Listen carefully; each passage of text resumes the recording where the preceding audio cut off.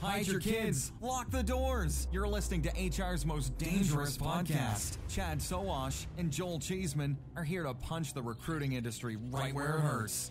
Complete with breaking news, brash opinion, and loads of snark. Buckle up, boys and girls. It's time for the Chad and Cheese Podcast. Oh, yeah. Two guys just waiting around for a Frankie Goes to Hollywood reunion tour. What's up, kids? You are listening to the Chad and Cheese podcast. I'm your co host, Joel Relax Cheeseman. And this is Chad, hot for teacher Sowash. And on this episode, LinkedIn goes deep. Just a tip. Biden takes on AI, and somewhere Jimmy Hoffa is smiling. Let's do this. Hospitality is the heart of our society. It brings people together to share great food, drinks, and experiences. But successfully managing a restaurant or hotel is no easy feat. That's where Harri comes in. Harri is the frontline employee experience platform that helps you build, manage, and engage great teams. With Harri, managers can easily find and hire top talent, manage timekeeping, and communicate with employees at any time from any place. Candidates and team members can quickly and efficiently apply for jobs, swap shifts, and access important information entirely from their mobile devices. And Harri's robust employee engagement tools make team members feel more connected than ever. With Harri, as an owner or operator, you get a bird's eye view of your business from turnover cost, labor cost, employee sentiment, compliance risk, and team performance. Run your business better by understanding the power of your people. Because when your team is the heart of your business, Harri is the heartbeat. See how it transforms your business. Happy post Halloween. Post Halloween. What is Portugal Halloween like? Uh, it's not the same. And we can talk about uh, how much traffic you guys got. I actually saw on Facebook one of my friends had like a, a bunch of candy, and they had literally no kids come by. So I thought that was that was interesting. But here, Yep. it's not a door to door thing. Uh, the kids, we've got two schools that are here in our little little village of Cabanas. Uh, Mhm. During lunch, they actually do like a little parade downtown, and they come into the uh, the different cafes and restaurants and whatnot, and then that's when they get candy and, and whatnot. So that all the people that are there drinking and whatnot, they give them stuff. So that that was that was really cool. That was really cool. So uh, did, did you have did you have uh, some a good flow of kids looking for uh, full size Kit Kats? Decent flow. I'm curious. Do the do the kids pr- do a parade, or is it the Yeah. adults or the community? So the kids, are kids just parading around the street. Okay, that's Yep. interesting. They they come through That's- the streets. They go do their thing from business to business instead that's- of coming to your your door. That's that's a fat Tuesday for you. Bunch of kids uh, asking for beads. I mean candy. Um, Margarita. it was- Here you go. It was fine here. Uh, it Yeah? snowed. It snowed, which you know, whatever. Really? that's a thing. Uh, yeah. That so that sucks. meant that meant hot cider with plenty of uh, Jack Daniels. Uh, uh, you know, which you have plenty of. in that. Yeah. Uh, you know, the kid. The, so Jeremy's six. I got Yeah. a 17 year old and a 14 year old. Here's the breakdown 17 year old went to his girlfriend's house, did the uh, Texas Chainsaw Massacre outfit, which was really good. He actually had a real him. chainsaw with no chain on it. He really he went all out. wore wore a tie for the first time in his life, I think. Had the fake blood. My 14 year old was too cool for school. Didn't do anything, uh, which was kind of a bummer. And then the six year old, Nah. he was a Pokemon character I don't even know. Went to his friend's house, and the kids. The problem with six year olds, they they do an all out sprint for like thirty minutes to as many houses as Oh, they yeah. can, and then it's like Yes. crash and burn. The last hour is like kids throwing shoes at each other, candy at other people, tears. I'm gonna sit down and melt down, and then it's like fuck it, let's go home. Uh, we do the whole thing with the with the candy at the door. Uh, Uh-huh. My wife, being the fun police, is like only take one, um, and then we have t- a ton of candy left because everybody just takes Oh, one because to Canadians. death. I guess. Oh, Canadians. Yeah, yeah. Socialism on Halloween is always fun, but it was great. You know, it's it's nice because I have a young kid. The older kids are are done, but I get to travel back in time and re-experience, you know, Halloween with a six year old. Yeah. Well, I I had a- new experience. Uh, we went to a Halloween party in Tavira. Julie and I went to, we dressed up as a goth couple, which I've never been in my life. Uh, and I wore, uh, I painted my fingernails for the very first time. Have you ever had your fingernails painted? I can't say that I've had my fingernails painted. No, that sounds. Well, I mean, being a girl dad, being a girl dad, a lot of dads have their, you know, their their, their Okay. girls uh, paint their paint their fingernails, paint their toenails, that kind of thing. Emma was never really into that. She was soccer, softball, that kind of thing. So that never happened. So this is the first time I've ever had my fingernails painted, and I thought, oh, this is really cool, and it was it was good with the with the the uh, the costume. Uh, the next day, it just bothered the shit out of me. I, I don't know why. It just it was it was so foreign and alien. so anyway, it, w- it was odd. Fifty two years we of my we have- life, very first time. we have cardboard Chad, we have Euro Chad, and now we have Goth Chad. I, I don't know. I Not don't a know. keeper. I think it's Not a keeper. I think it's a it's a it's a foot a step too far in my opinion. A step too far in my opinion. Well, we got a lot of show to cover, so Excellent. I'm going to go straight into Halloween shout outs. This is for uh, shout outs to Halloween treats. That's right. Thanks to uh, Elena, Abby, and the Skill Scout team for sending Julie and I a Halloween movie night at home. I'm sure you got one too. Uh, an Yep. Amazon gift card for a free movie rental. I thought that was that was really cool. They gave us a, they, we didn't get a trick, we got a treat. All right, Okay, uh, so I had an, another shout out, and then the, a news story crossed the desk, and and it got Mm. replaced. So as- Okay. aside from family chat, I have two framed pictures in my office. One is an autographed uh, Larry Bird photo, and the other is Ah. a signed Bobby Knight picture.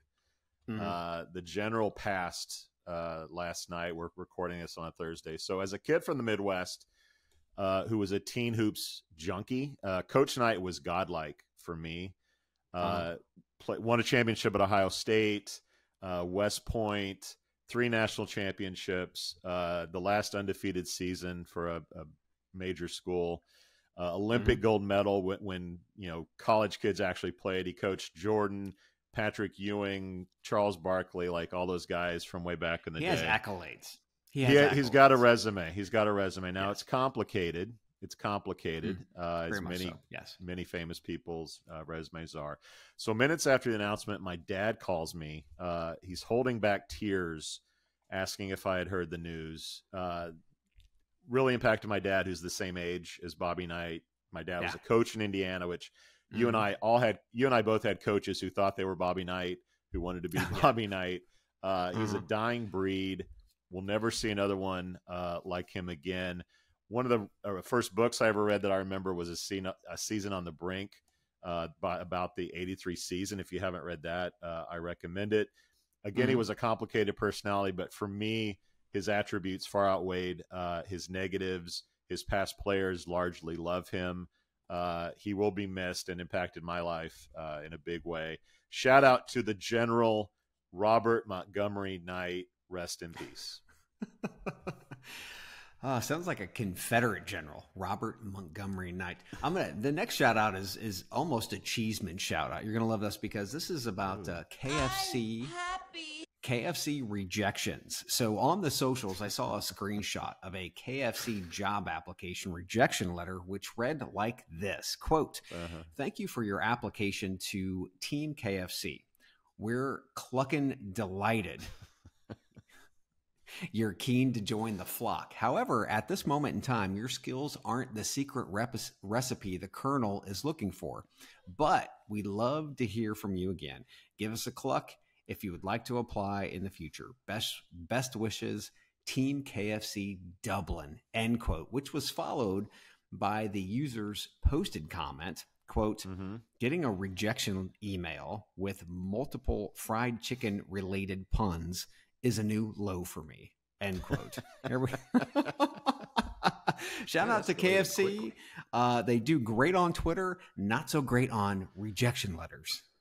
Oh, just give me a coupon for a, a chicken little. That's all I want. Just give me a coupon. no, no. You don't have to Need go through need all the hoops. bucket.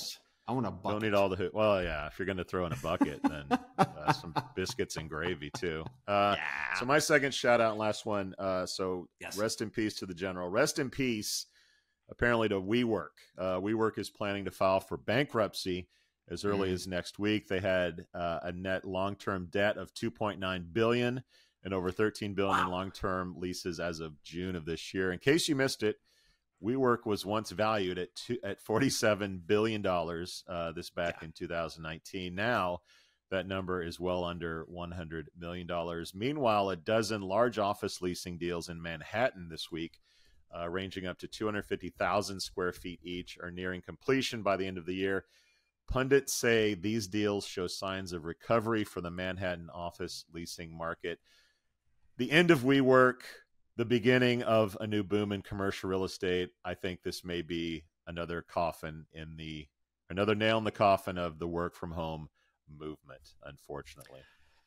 Possibly. And uh, at this point, I don't know why. Uh, don't know why Adam Neumann is not in leg irons. For God's sakes, Jesus, talk about stealing. Uh, He just got a ton of money talk from Andreessen.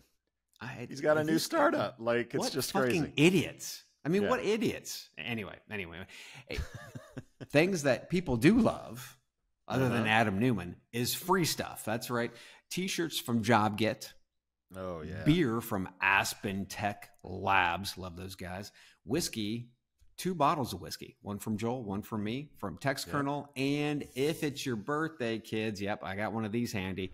Uh, Oh, it's yeah. uh, rum with plum, right? So if you go to chadcheese.com slash free, register Can you so you could prospectively win in all the of air that. right now? I know I can. I can feel it all the way down in my plums. That's right. By the way, some of the names connected to this month's uh, winnings. Uh, Yes. Bourbon goes to Monica Evgy, friend of the show. Saw her at uh, HR Tech.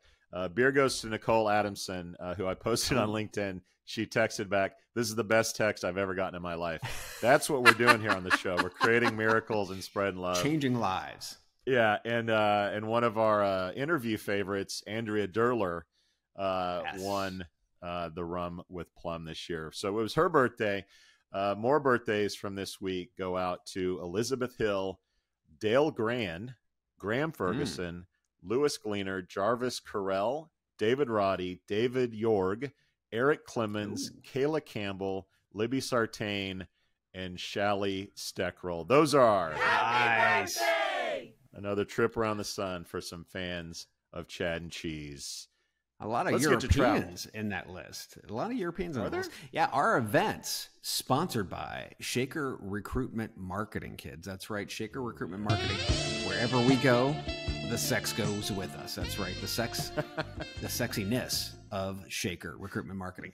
So I'm going to be at TA Tech in London, December 4th through the 6th. If you are in London, if you're close to London, if you're even, I don't know, contiguous states, I don't know, in Europe, you need to be at London. You need to be in London at TA Tech. Uh, it's going to be a good few days. Uh, go to chadcheese.com slash events. You can register there. I'm going to be emceeing with uh, Kirsty Kelly, and there are going to be a long list of people that uh, you want to sit down and listen to, not to mention have drinks with. So come see us, chadcheese.com slash events. Europeans love us. How much do they love us? They. Almost as much They as the Minnesotans, which brings us to an update from Minneapolis. That's right, kids. You know the European show. You remember the uh, mark- recruitment marketing show, uh, the Colt Brand series. We got a new one coming, Chad. It's the Chad and Cheese podcast does data. We're partnering with Toby Dayton from LinkUp. Uh, these guys are producing just kick-ass, in-depth numbers around employment, what the Fed is Mhm. saying, what ADP is saying, et cetera. They got their own numbers. Wall Street's finest are tapped into this data. We're going to talk to Toby once a month, figure out what's going on, bring it to the people, give it in terms that everyone understands. And I, for one, am really excited because I watch CNBC and Bloomberg, and some of this commentary on the numbers is really confusing, and I'm not quite sure. I'm googling stuff. I'm I'm Mm. excited to have Toby on the show to kind of kind of straighten us out and get us on a level playing field with some of Wall Street's finest. Yes, and, and just so that everybody knows out there, remember, we're on YouTube. And this is going to be a YouTube exclusive. That's right. It's not going to come out on the audio. We got way too much content that's happening there as it is. Uh, plus, you want to see Toby, and you want to see the charts and graphs. That's he's going he's going to be uh, going over every single month. So as soon as the jobs data comes out, which is on a Friday, that next Monday we're going to do the show. So that next week you're going to get that wrap up of the Chad and Cheese does data with our friend Toby Dayton. Yep, that's youtube.com backslash at Chad Cheese. Subscribe so you don't miss an episode. I'm excited, almost excited as Chad. That little fantasy football update. I'm moving up the charts, baby, and I'm excited. But here's our here's our leaderboard again. Factory Fix sponsors our addiction to fantasy football. Number one goes to again Michelle Obama Sargent. She is kicking ass. Seven one, I think, is her record. Yeah, just killing it. Yes. Uh, number two, Marcy Malware. Number three, Joe Mason Dixon line. Number four, Jasper the Friendly Ghost Banjart. Number five, Fucker. Dina Plum Promotion Pero. Dina got promoted at Plum uh, this week, so another uh, congratulatory uh, message for her nice. in that. Uh, yes, we are plumbed out today. If you're not watching on YouTube, uh, you got to check it out. Uh, following her is Dean Blizzard of Osner. That's right. That's an Ozzy Osbourne reference. Number seven, King of the Jill Patterson. Number eight, Joel Osteen Cheesemond. Or Joel Ost- Osteen? Osteen. Osteen, yes. Number nine, Chad, not just a country in Africa, so wash. Number 10, Brent Spinerlosi. Number 11, Dennis Tupper Lake. Number 12, Kristen Urband in the USA. And that is the leaderboard Horrible. of, of Chad and Cheese. And that brings us Yeah. to, oh my God, we got more. You know, you know the deal, Chad. We got more. What? Playoffs? Oh God. That's right. Some layoffs. This is a Damn quick it. one because we're going to Okay. talk about it on the European show next week. So tune in for that. But Germany's uh, Stepstone announced this week that it was laying off roughly, in quotes, 215 employees, or about 5% of the company's 4,200 strong workforce. Uh, Stepstone, a huge influential company there in Europe. So we will definitely talk about that. But that's a, that's a decent chunk of people whose lives will is. be impacted. Those are layoffs. Topics. All right, let's get political. President Biden has issued an executive order aimed at addressing the threats posed by artificial intelligence. The order seeks to prevent the misuse of AI for developing destructive weapons and supercharged cyber attacks. It also calls on Congress to pass data privacy legislation. The executive order establishes regulations such as requiring AI companies to conduct safety tests and share the results with the federal government. Industry standards, including watermarks for AI enabled products, were introduced to enhance transparency. Government agencies will implement changes in their use of AI with a focus on addressing racial bias and civil rights abuses. Chad, your thoughts on Biden's executive order? Yeah, so it's it's really interesting as I, I start go going through it to glean it. And there's a lot been ha- that's been written on this in, in a very short amount of time. I, I think we should we should bring some some uh, people on the regulatory side of the house in so we can start talking a little bit more about this. It seems like we're always talking about this, but it's it's important. Um, we're starting to catch up, I think, slowly to, to, to Europe, who's really been aggressive. I mean, they were back early this year, uh, starting to uh, starting to formulate what they wanted to do around AI and being able to create guardrails. Um, a, a couple of different uh, points in the executive order. Uh, 7.3, which is strengthening AI and civil rights in the broader economy. So within the next year, of the date of the order, um, they want to prevent unlawful discrimination from AI used for hiring. Uh, the Secretary of Labor shall publish guidance uh, for the federal contractors, which we actually talked about before. What was the easiest way to make sure that this shit starts happening, whether it's anything? I don't care if it's bias, it's AI with bias. You go after the federal uh, the federal uh, contractors first, because they're the ones taking uh, money from the federal government they have higher standards that they have to meet and it just makes sense so that's that's one of the things that they're doing but they're also looking at which i thought was interesting and smart increasing ai talent in the government they actually are starting put to, to put together a plan uh, which will focus on. Uh, you know, we all say small government's good. Not everybody does, but in this case, we need more boots on the ground. AI boots on the ground for government. Uh, so they're looking at actually trying to build uh, AI teams in all the different segments uh, of government. I, I, think that is incredibly important and smart.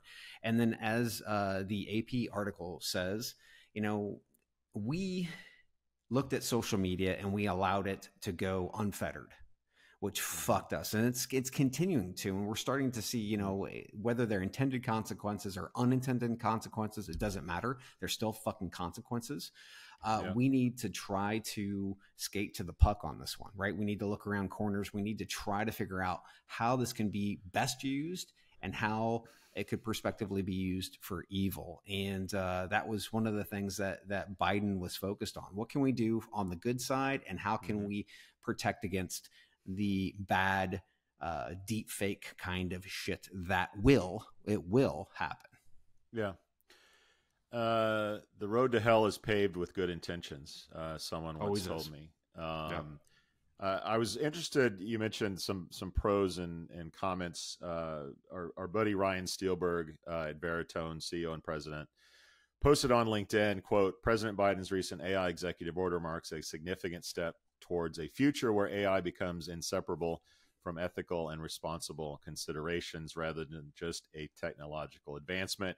You talked about mm-hmm. social media. You talked about, uh, you should have talked about the internet. The internet forever. I was like, yes. let it go, baby. Yeah. Let it yeah. roll. Let it roll. See yeah. how the, the, the chips fall. Try to herd um, those fucking cats. Obvious, Jesus. Obviously, you know, that was, that was a difficult one. Now that the internet's mm. obviously more global uh, than just the U S. And I feel that AI, is is similar. Um, yes. We're in a political we're in a political year. A year from this month, we'll be electing a new president. Biden's favorables aren't great. Uh, he's he's entrenched in two wars. He's entrenched in some inflationary issues, and so things are challenging. The the political cynic in me says, "What's the political reason to do this?" I think to take big tech to task Google, look, that's who this is going to impact. Google, AW, like Amazon, Microsoft, um, and they've been under pressure from the right in terms of free speech and regulation. So I don't know if it's like a, a, a workaround with what he thinks the Republicans will do on big tech. I worry about how uh, how how much teeth this is going to have. You mentioned federal contracts, so there there is some precedent to say, hey, if you're doing if you're doing work with the federal government, these are regulations you're going to have to deal with. But I don't know yeah. is is Congress going to finance this? Is are they going to pass laws around this? Is there a new uh, department that's going to be created? The AI regulation department. Um, the CEO from Workday was quoted as saying like this is going to be a tremendous amount of work uh, and cost to us to provide data and, and report back to the government. And you're going to hear that more and more. But smaller businesses are they are they sh- shielded from reporting? Like there's a lot of stuff to be worked out around this. And at the end of the day, China, Russia, Iran, North Korea do not have to abide by any of these regulations. So that that concerns me like are we going to hinder our development of AI while they run wild with it and innovate beyond what we're doing? So I think it's a great first step. I think it's some great um, bully pulpit uh, setting the stage for what we should be and how we should be looking at AI. I just think the devil's in the details on this. How is it going to be played out? Who's going to be uh, put under uh, scrutiny of this? How are they going to report to it? What's it going to cost? Who's going to finance this, who's going to actually police.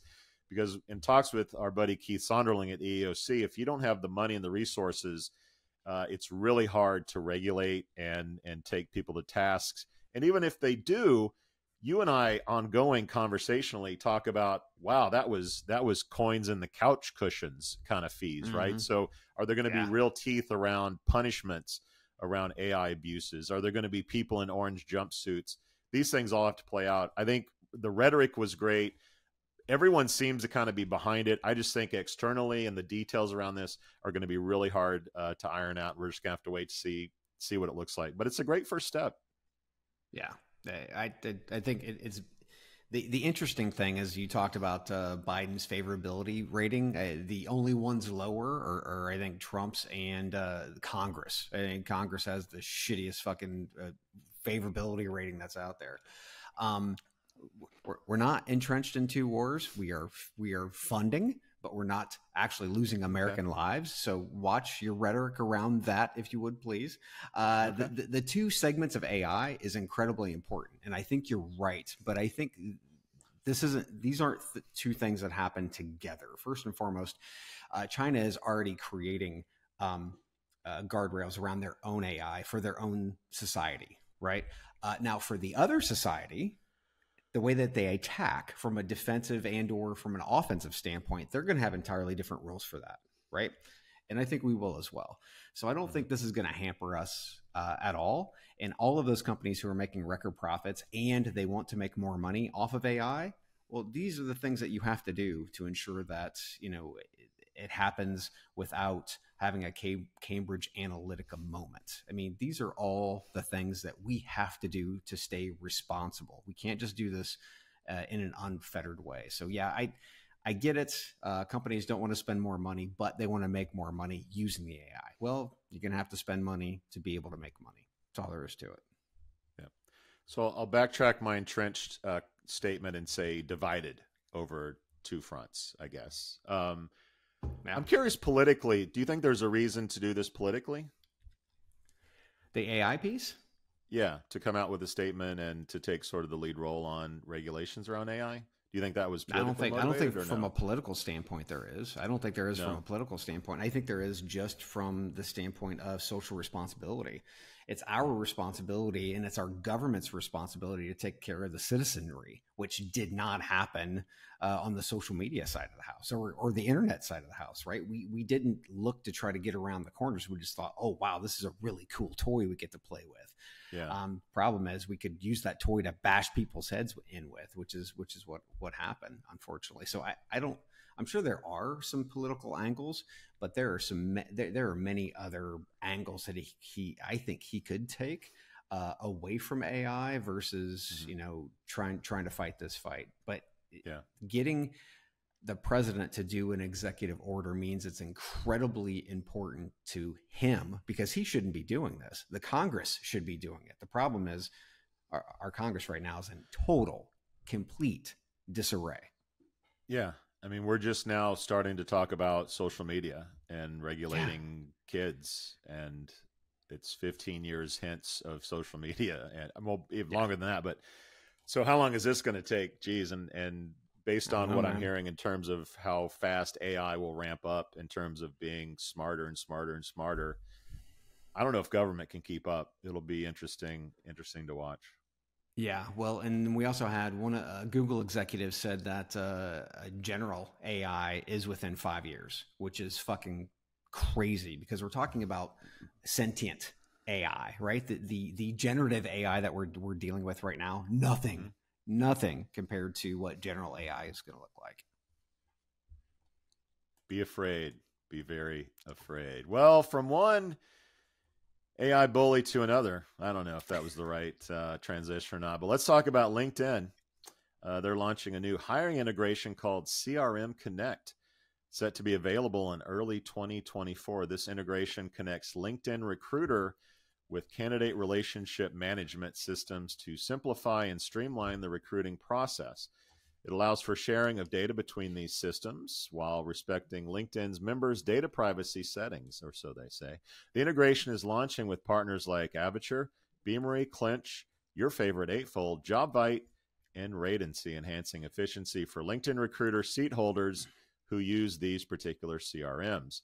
CRM Connect promises to reduce the time spent switching between systems provide recruiters with accurate and up to date candidate insights, and improve the ability to nurture candidates effectively by centralizing the information. Chad, this is not just the tip, this is LinkedIn going deep. Just the tip. what are your thoughts? So, so eh, the big question for me was, you know, it, it, didn't. It, seemed interesting just from a, a, connectivity standpoint, but eh, what's the best way, as the they say in the article, to quote reduce time switching across systems? What's the best way to do that? The best way is to become the fucking system. So I don't think this is a technical exercise with partners because it feels more like an audition. Seriously, we all know that LinkedIn is like crack for for recruiters. So build Yep. out the CM the CRM functionality or just acquire one that you've already connected with so that you can expand wallet share for a more robust offering. So while auditioning, keep your competition close, pull in their massive data sets, and maybe even unleash a little open AI to the data to better understand aggregate recruiter uh, behaviors, messaging, and anything else that you think the the LLMs might be able to dig into. So no, I don't believe this is purely about connecting to Avature, Beamery, Clinch, JobVite, and Radancy. I- think this is an audition, and I and I do have a, a, a funny follow up here. I was uh, I was speaking to a friend of mine about this to, to to see what they thought about it, and and they had one comment. Quote: Eightfold is the Theranos of talent acquisition and a complete laughing stock. Plus, Beamery has no future ahead. End quote. So apparently, they don't think Eightfold or Beamery have a chance in hell in making the the, the LinkedIn Microsoft team through this audition. Uh-huh. 60% of the time, it works every time. So you think this is audition for an acquisition? Yes. essentially. Okay, all right. Yeah. Uh, I'll I'll take that a little bit, but spin it in, in this way.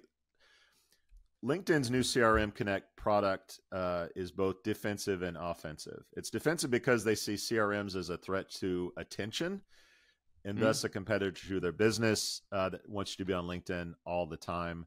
They want to keep you there, making all your CRM data available, and LinkedIn accomplishes that. To me, that's a no-brainer. They should have done that a long time ago. However, I do think this is offensive. You think it's an audition. I think it may be just a straight up theft uh, that we're looking at. Like, remember, remember the API playbook. Give Yes. third parties access to your platform. Learn Mhm. all about them, then shut them down. Launch by launching a competing product. Take. LinkedIn used to make access to profiles pretty easy. Then Mhm. they throttled it. Then they killed it. Then companies like HiQ, HiQ, who wanted to scrape the data, got sued into oblivion. Um, if you Mhm. think the same thing or something similar isn't happening here, then I've got a bridge in Brooklyn uh, that I'd like to sell you. Partner with LinkedIn at your own risk. Buy is definitely an option, but so is let's just make it ourselves once we understand what customers want, what they're using, what they search for. Like you're gonna you're gonna open the kimono. LinkedIn's gonna get a good view, and they're gonna crush you. Yeah. Or at least yeah. that's I just the I just playbook. I think. Don't think. I mean, we just saw LinkedIn. They just they just had a layoff, right? So they're starting to they're starting to come down. I think from a resource standpoint, especially when you're the size of LinkedIn, you don't build something like this, right? You go ahead and you see, much like marketplaces that we talk about with applicant tracking systems, you see which ones work the best, which ones get the best traction, and the best uh, the best data flow that you can have back and forth. I think this is a pure audition for an acquisition play, but I agree. There's definitely an offensive defensive mode that's here. Uh, I think to me, when they put this article out and I was reading it, I'm like, okay, I'm reading between the lines. There's a lot not being said.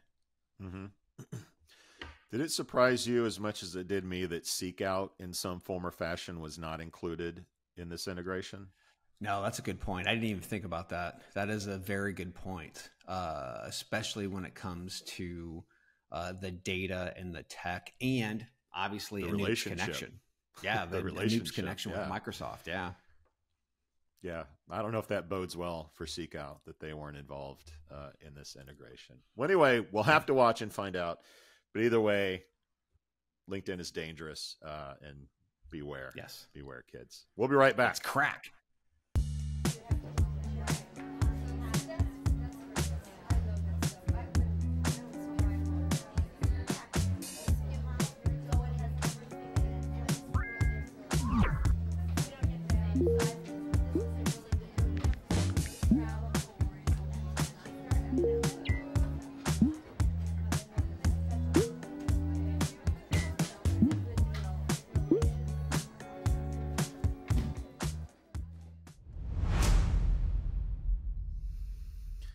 Chad, how about a game of Who'd You Rather? That's Yes. right. That's right. You know, you know how we play the game, kids. We talk about two companies that have recently gotten funding, and then Chad and I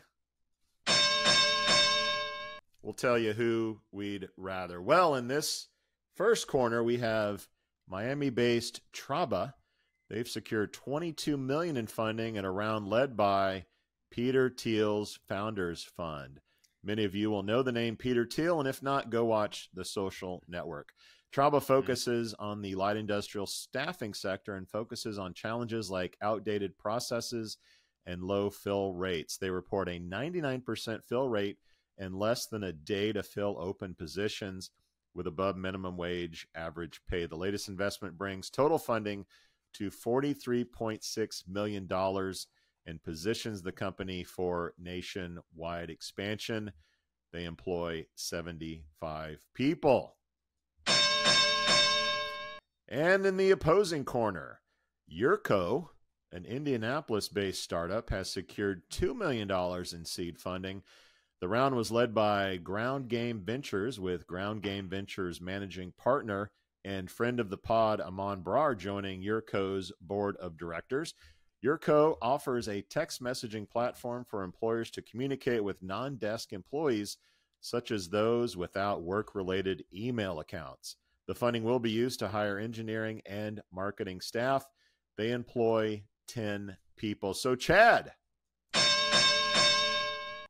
love a good David versus Goliath. Who'd you rather? So, who'd you rather between Yourco and Traba? So Traba feels like a localized model of factory fix. Obviously, they're going to expand out uh, nationwide, but they feel, they, they feel kind of factory fix esh. Um, and you know how much we love the boys over at Factory Fix. So trying to fill light industrial roles quickly can be performed faster than using staffing agencies. And I think that that is is the big key, and that's their their their big market advantage. Um, Yourco is. Uh, a very very young company no question. Um, but at this point they're nothing more than just a basic platform feature. They're not a business. Uh, communication is big but this is one aspect of a platform that needs to wrap into technology like a traba or factory fix which connects you to your current staff and or the external marketplace. So i see companies like traba and factory fix are the future of staffing because as i said earlier it's about speed of identifying, notifying, and filling shifts, which is why I would Traba all day. What are you doing, step bro? All right, so this is almost a who'd you rather between Peter Thiel and Amon Brar, uh, who we who we love, by the way. I, I Uh, would so not Peter go that far because I would have picked Amon. I would have picked Pe- Amon. Pe- Peter Thiel has companies like Facebook, PayPal, Stripe, Reddit, Quora, uh, and the like in his portfolio. So that's pretty a little bit tough money. to to go against. Uh, Amon is great at bootstrapping companies and then flipping them for 10x for a reasonable amount, a la his company Canvas, who was acquired by Jobvite. So while I Mhm. think they're both going to be winners, uh, and I I want to go with the home team from Indianapolis. Uh, I think if I want to make a billion dollars, I'm going to go with Thiel. Uh, if I want to make $25 million, I'm going to go with Amon. So while I'd rather both of them, I think that the money, the money, Chad, is going to win out. And I'm going to go with Traba. All right. That is another episode of Who'd you rather? Now let's get into some union news. The United Auto Workers, or the UAW as the kids call them, have struck a deal with Detroit automakers. The agreement includes significant benefits for UAW members, such as a 25% compounded raise over four and a half years, increased 401k company contributions, and enhanced profit sharing bonuses. The contracts also include an immediate 11% raise and massive pay increase for those lowest paid workers. Temps hired this year, for example, will see a 150% wage increase over the four and a half years of the contract. This is happening in light of recent news around pay transparency laws saying the growth of advertised wages for new hires is slowing and even reversing, with some companies now posting lower pay ranges and around 30 to 40% of employers not complying with laws requiring salary ranges at all. Chad, what are your thoughts on the news from Detroit and the pay transparency update? So I really feel like it's finally the time of the worker. Oh, do you? I want all of you to get up out of your chairs. I want you to get up right now and go to the window, open it, and stick your head out and yell, I'm as mad as hell, and I'm not going to take this anymore! So we've endured four decades of bullshit economic policies where the dollar stayed in the ivory tower and didn't trickle down. We have assholes like Josh Bersin and Johnny Taylor driving anti-work sentiment, saying companies will go out of business as the, the C-suite and their boards uh, buy more vacation homes and yachts, and their compensation grows by 15 hundred percent compared to the people on the front fucking lines actually doing the work getting 18%. So the UAW is striking a narrative that is counter to the pull yourself up by your bootstraps narrative that we got suckered into back in the Gen X mm-hmm. days because it's fucking hard to pull yourself up by your bootstraps when you can't afford fucking boots. So we're also seeing, which is really cool, outside of GM, Ford, and Stellantis, that Kaiser Permanente, CVS, Walgreens, Mack Trucks, um, they're all starting to strike as well because they're seeing what is happening here. And that, again, they're mad as hell and they're not going to take it anymore. Uh, that to me is exciting. Um, on the pay transparency side of the house, I, I, watched I watched the interview and I read some of the articles around this, and they're talking about, oh, pay transparency isn't working. No, dumbasses. Companies companies are just pulling down. It's it's a negotiation thing, right? It's kind of like yeah. Bersin said, "Oh yes, I would like to have a four day work week." Well, yeah, asshole, it was a part of the negotiation, something that you can actually pull off the table, right? If you uh-huh. put the salary up at the level you're actually paying people right now, that's the starting point. So what do they do? They bring it down so that the starting point is down. Um, so yeah, I mean, all of this is literally just a mirage and for all of you idiots that are out there that don't understand how to negotiate, this is going to be really surprising for you. For all of us mm-hmm. who understand business and we've been doing this for fucking years, guess what? It's it seems normal. Yeah. All right, all right, all right. I'm shocked, Chad. I'm shocked that they got this done. Uh, when we first touched on this months ago, I said they're a paper tiger. They're going to move jobs to Mexico. They're going to automate everything. Um, I am impressed and shocked that this got done. Uh, mm-hmm. Big win for workers. Big big win for labor. Holy shit! Yes. Um, yes. You're going to see more unionization. You're going to see uh, stress from Tesla workers and uh, right to work states want to unionize, or yes. they'll just fucking go to to Detroit, right? I mean, if you mm-hmm. want to see an increase in in applications uh, to the big three of talented people, this is it. Uh, this is incredible news for unions, for workers that have been getting kicked in the nuts, proverbially, uh, for decades. Yes. It's a big win for Joe Biden. Um, I said early on when Joe Biden went to go visit, I said, look, both of these candidates uh, need to try to you know elbow their way into getting this deal done. Um, you know, Trump went to a non-union shop. Biden went to Detroit and you know picketed for I don't know 28 seconds or something, but at least he was there and the yeah. photo op was great. He can claim victory. He's going to be on the campaign trail in these swing states like Michigan, talking about union wages and the, the rise mm-hmm. of unions and the common man and the working man and woman. So big right. win for Joe Biden uh, and the Democrats in my mind loss for Tesla. They're going to have a hard time uh, keeping unions at bay. I think. Um, obviously, some shareholders will probably take it with greater salaries, expenses. We'll see how that goes. Uh, so far, early on, uh, stock prices haven't uh, declined much. So Wall Street, for the most part, is okay with what's going on, or at least price it in. But I, I'm ultimately just shocked that this happened, and it it proves once again, like if you have leverage you can get this shit done. If you're UPS and people need their packages, if you're making cars and, and people want to drive new cars, then you Mhm. can you can get the the salary that you want. But before you strike and do all this stuff, have leverage and have the numbers to do it. They did this really strategically. They rolled Yes. out the they rolled out the the closings of plants. They tightened the screws, you know, more and more, kind of slowly. It was just Yeah. brilliant. I, I am super impressed with the union leadership. Um, I think they totally stuck it to leadership of these companies.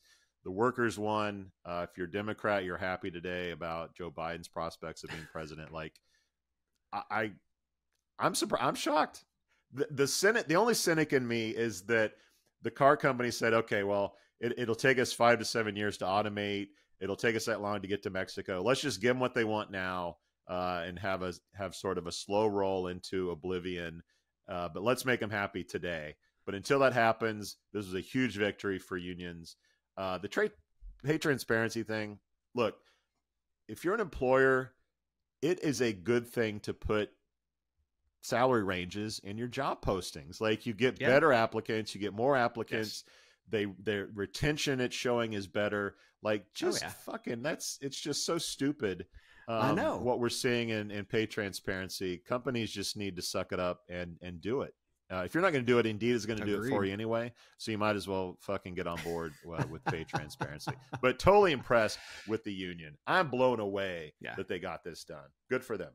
I, and I got to tell you that Shawn Fain, who literally took that position because the the the other guys got put in jail. Okay, uh, and there's more transparency around the UAW today, and it has to be. I think this is like a new movement for uh, collective bargaining and and unions, and hope to see this move through. And again, you, you mentioned Tesla. Um, I, Mhm. there there are so many industries that are out there today who really need representation because the little guy is getting battered left and right. So yes, this is I think this is a very big win, and I'm I'm excited uh, for not just those workers, but workers throughout the entire United States. Big, big applause for the union, union there in Detroit. Very well done. Very well done. Let's take another break. And we'll talk about OnlyFans for the first time on the show. Just kidding. we'll be we'll be right back, everybody. All right, Chad. How about a little OnlyFans news? Imagine That's that. right. Megan Gaither, an English teacher and varsity cheerleading coach at St. Clair High School in Missouri, was put on leave after it was revealed that she was selling explicit content on OnlyFans to supplement her income. Gaither, 31, cited financial struggles and the need to repay over 125,000 in student loans as the reasons for her moonlighting job. Her total income last year, including a coaching stipend, was about $47,500. Gaither said she had deactivated her OnlyFans account after a student left a note under her classroom door hinting that they knew about her secret. Her colleague, Brianna Coppage, a former teacher at the same school, resigned after it was discovered that she was running an OnlyFans page with her husband, Chad. More OnlyFans drama. What are your thoughts on the latest? So I, I automatically thought of Van Halen's "Hot for Teacher," the the video, when I started reading this because I mean, if you think about it, do you know how much more attentive I would have been in class as a as a teenager with with these teachers? Just the That- tip. but seriously, uh, what did those ladies do that was illegal? They- it- nothing. Then then why are school systems allowed to fire them or or push them into you know into actually quitting? Uh, code of conduct happens while at work when you have no control of the code of conduct that happens at my house. Mhm. Okay, if I'm not doing something illegal, then you can just fuck off. Plus, did it hamper the teacher's performance? Uh, it's amazing how we shame women for doing things that are not illegal or we make them illegal, like, I don't know, he- healthcare choices for their own damn body. Um, if, I, if I were them, I would sue the pants off of these uh, these uh, school systems. See what I did there? Uh huh. I, I like that. That's good. That's good. That's that's not too. I don't bad, get it, dude. I just don't get it. They don't make a lot of money. Well, we finally found the the the killer the the the killer app for OnlyFans that's going to put it under is Joe Biden's uh, student loan forgiveness. That's going to put OnlyFans out of business if all these student loans uh, get excused. I'm just kidding. Doubtful. I'm just kidding, kind of. Doubtful. Uh, Yeah. So let's go. Let's go back to last week's uh, Clona.ai, uh, Riley Reid's new venture. By the way, I reached out to Riley Yes. Reid's people for an interview. Uh, we'll see if they reply. So far, it's crickets. Uh, so, so Riley, call that. us. Call me, Good Riley. Uh, uh, anyway, I think OnlyFans is going to be disrupted by cheaper, naughtier options like Clona. Uh, I really don't think we're going to be talking about OnlyFans in 10 years in the way that we are today.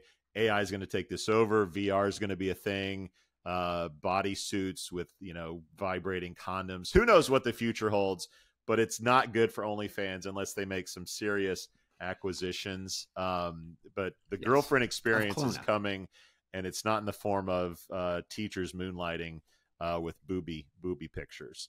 Second thing is, can we start paying teachers like the rock stars uh, that they are? Look, it's an election great, year. yeah. I want to hear some governors talking about six figure salaries for entry level teachers. That's what I want to hear. You want to see Yeah. states Yeah. you want to see states start outperforming every other state. You want to see kids from all backgrounds start to outperform their peers. You want to see best Mhm. of the best college grads go into teaching. We'll start paying them like the badasses that they are.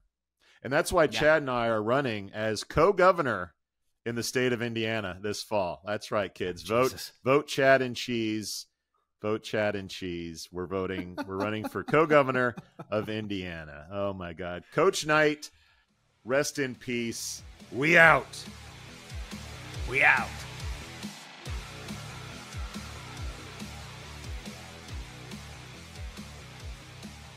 Thank you for listening to what's it called? A podcast. The Chad, the cheese. Brilliant. They talk about recruiting. They talk about technology. But most of all, they talk about nothing. Just a lot of shout outs of people you don't even know. And yet you're listening. It's incredible. And not one word about cheese. Not one. Cheddar. Blue. Nacho. Pepper Jack. Swiss. So many cheeses and not one word. So weird. Anywho, be sure to subscribe today on iTunes, Spotify, Google Play, or wherever you listen to your podcasts. That way you won't miss an episode. And while you're at it, visit www.chadcheese.com. Just don't expect to find any recipes for grilled cheese. It's so weird. We out!